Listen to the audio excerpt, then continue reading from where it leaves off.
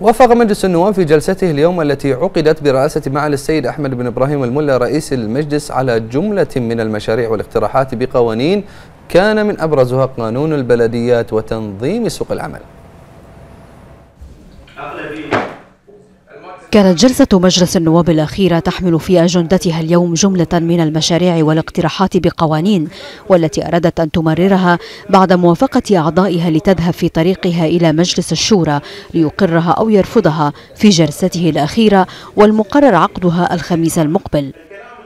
بلا شك هذه المشاريع والمقترحات تصب في مصلحة الاقتصاد الوطني تصب في مصلحة العنصر البحريني واللي إحنا حريصين عليه كمجلس نواب أن ندعمه من خلال طرح القوانين التي تهدف إلى آه، توسعة أو إلى تهيئة الأرض الأرضية المناسبة لأنه يكون قادر على أنه ينمو ويكبر ويكون له دور مهم في آه، دعم الاقتصاد الوطني.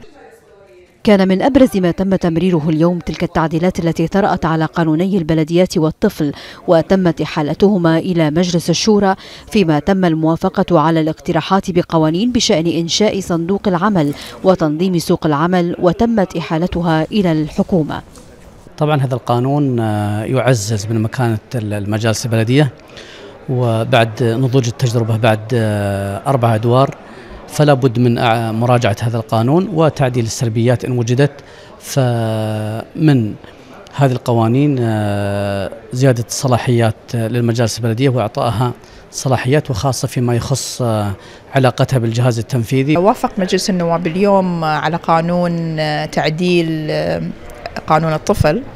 آه هذا المقترح تقدمت به منذ حوالي سنتين وقامت لجنة المرأة والطفل طوال العامين الماضيين بتدارس آه المقترح. واليوم عندما وصل آه، هذا المقترح بصيغة مشروع بقانون طبعا وافق عليه المجلس.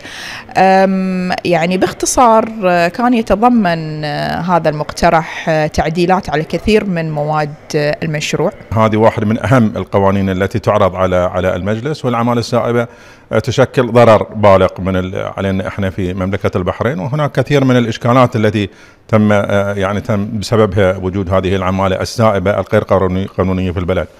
فالحمد لله تم بالإجماع آه، الموافقة على هذا الاقتراح بقانون وسيرفع إلى الحكومة المقرره لإعادة صياغته كمشروع بقانون. في حين كان الرفض هو مصير توصية لجنة الخدمات بشأن الاقتراح بقانون حول إنشاء صندوق دعم الطالب للمنح والبعثات الدراسية. سهر عصفور لمركز الأخبار تلفزيون البحرين.